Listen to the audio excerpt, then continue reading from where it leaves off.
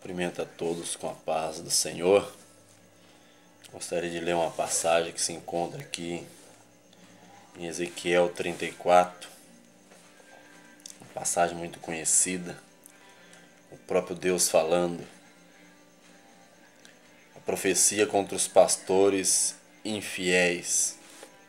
Veja bem, quando o pastor ele é infiel, deixa de fazer aquilo que Deus o chamou para fazer na sua obra.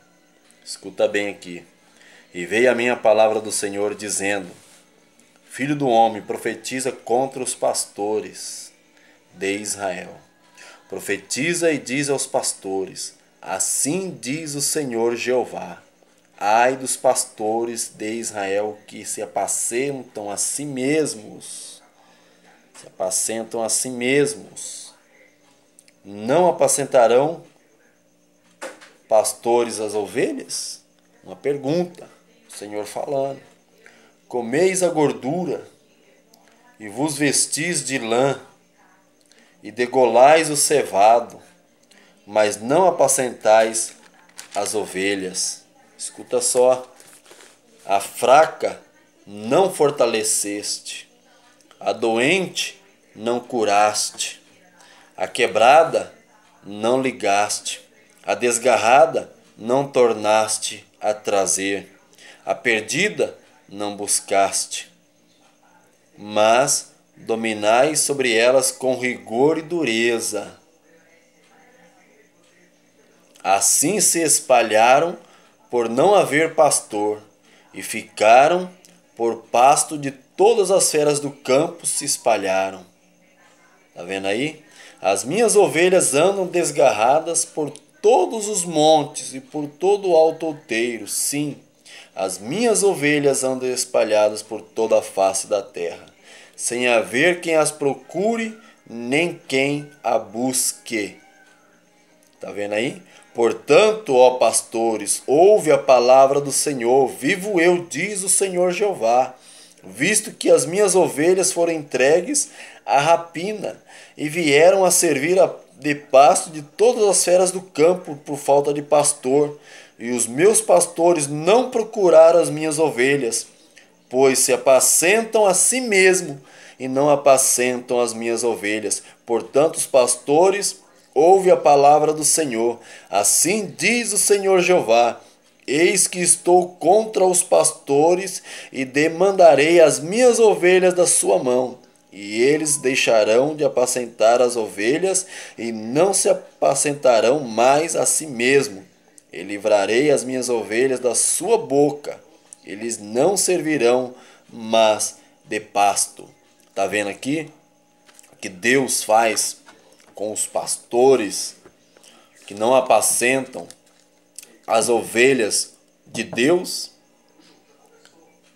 que não apacentam, apacentam a si mesmo. Deus nos chamou para apacentar as ovelhas. O que é apacentar? É cuidar, zelar. É cuidar e zelar. Tem que ter zelo para com aquilo que é de Deus, não é seu. Mas tem muitos pastores que se apacentam a si mesmo.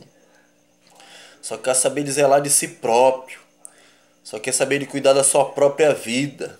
Só quer saber de cuidar do seu bel prazer, da sua própria vontade, do seu próprio serviço, da sua, sua própria casa, a si mesmo. Está preocupado somente consigo e não se preocupa com os outros, com o próximo. Não se preocupa com com os irmãos que estão na igreja, só quer saber de si próprio, não quer saber de mais ninguém. Sabe aquele pastor que não se preocupa mais em pregar a palavra verdadeiramente como ela é?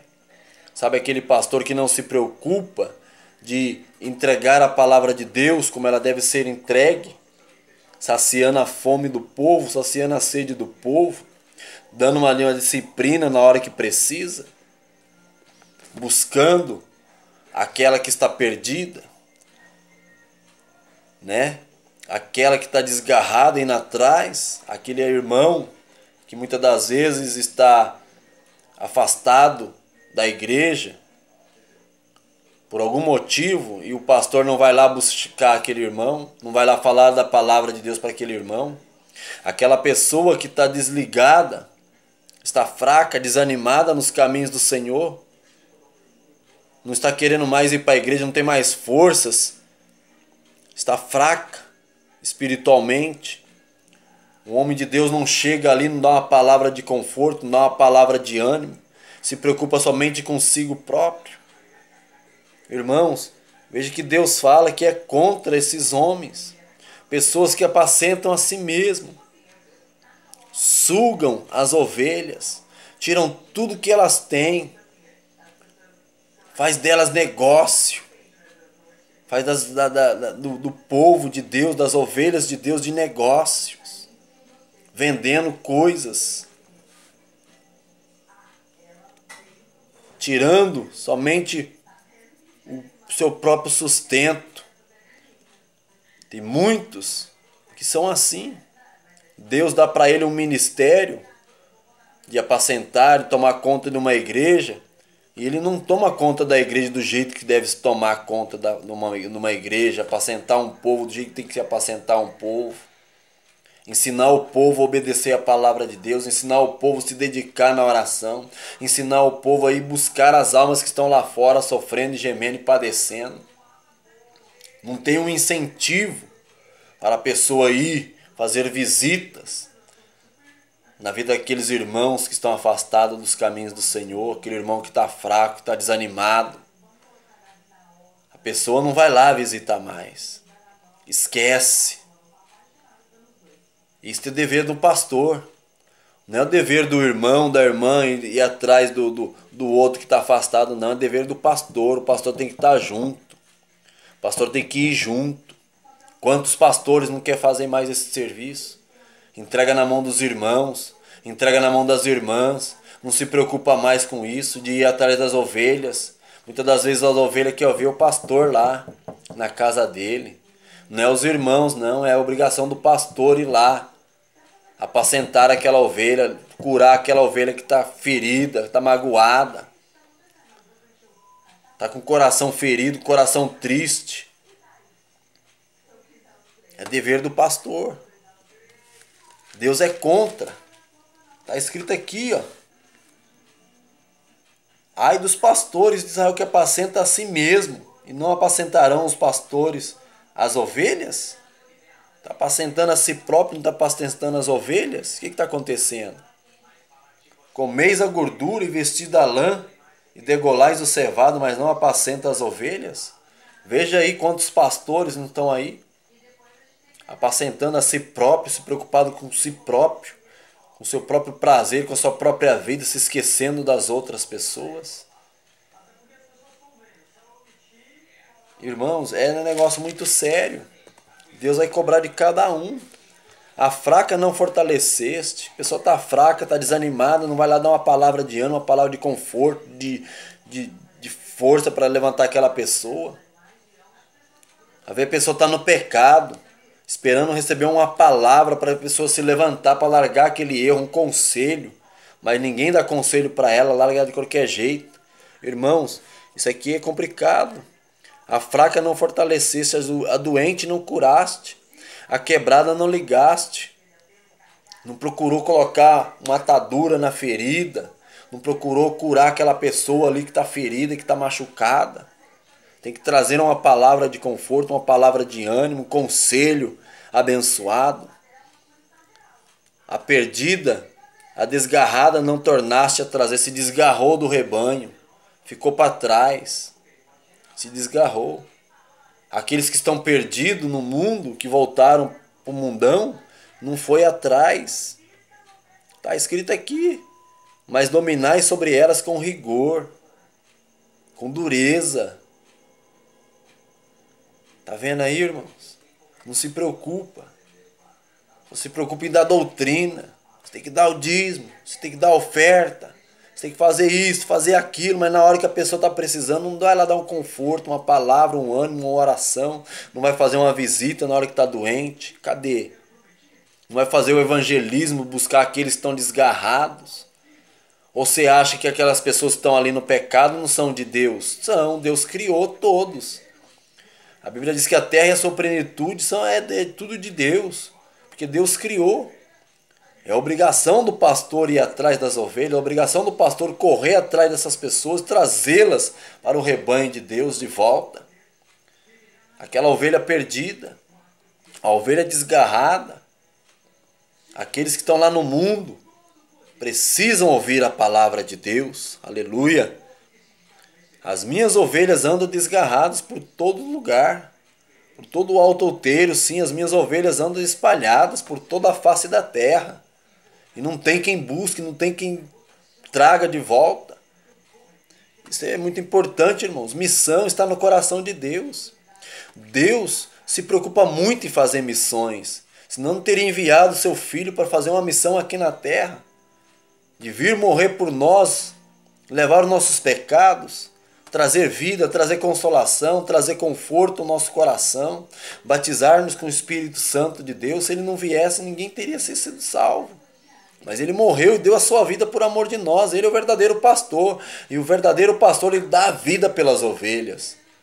Ele não se preocupa que se vai ter tempo para a família, vai ter tempo para outras coisas, não. Ele se preocupa com as ovelhas, com a casa de Deus, com aqueles que estão ali na igreja, com aqueles que estão afastados, com aqueles que estão morrendo, com as almas que estão lá fora.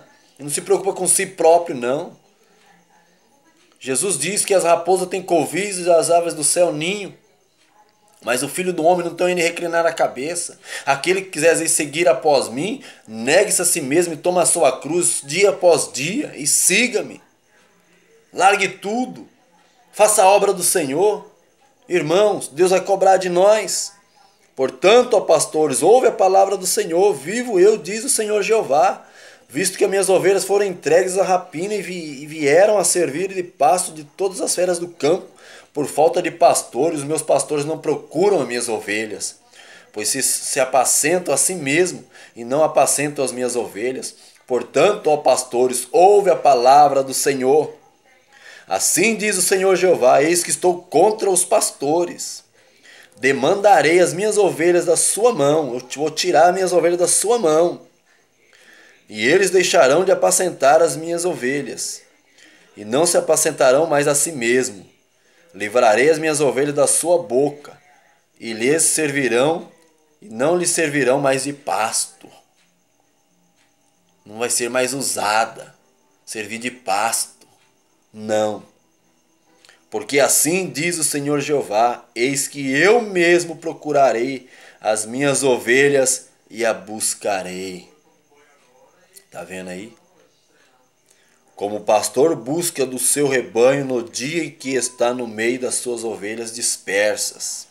Assim buscarei as minhas ovelhas, as farei voltar de todos os lugares por onde andam espalhadas, no dia de nuvens e de escuridão.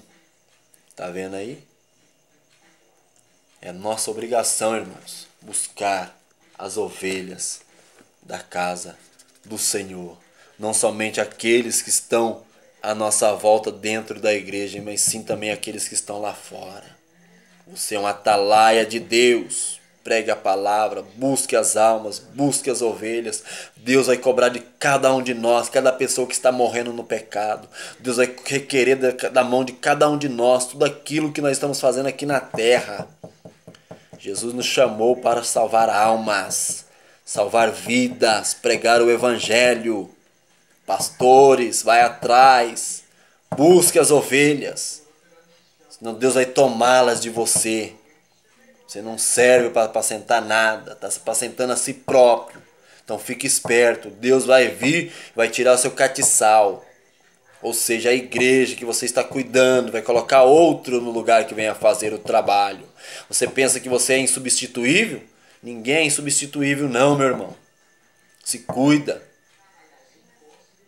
Ah, quando eu era mais novo eu fazia isso, fazendo quando você era, não, não quer, Deus não quer saber quando você era, quando você fazia. Deus quer que você faz hoje em dia. Se você não está cansado, não tem condições de, de, de fazer a obra, deixa para outro fazer. Outro que tem vontade de fazer aquilo que você não está fazendo. Fique com esta palavra. Coloque esta palavra no seu coração e se arrependa do seu pecado, se arrependa do, do, do sua, da sua consciência. Se arrependa. A Bíblia diz que aquele que sabe fazer o bem e não faz comete pecado. Não seja negligente. Não seja negligente. Faça a obra de Deus como um bom evangelista como o obreiro aprovado que não tem de se vergonhar, que maneja bem a palavra de Deus. Apresenta a Deus como aprovado diante dele naquele dia que Deus vai te recompensar, vai te dar a coroa da justiça no nome do Senhor Jesus. Que Deus abençoe a cada um de nós, irmãos. Fique com esta palavra, pastores. Em nome de Jesus, que Deus te levante, faça você acordar deste sono que você está dormindo para que você seja abençoado por Ele, no nome do Senhor Jesus. Deus abençoe a todos, em nome de Jesus. Amém.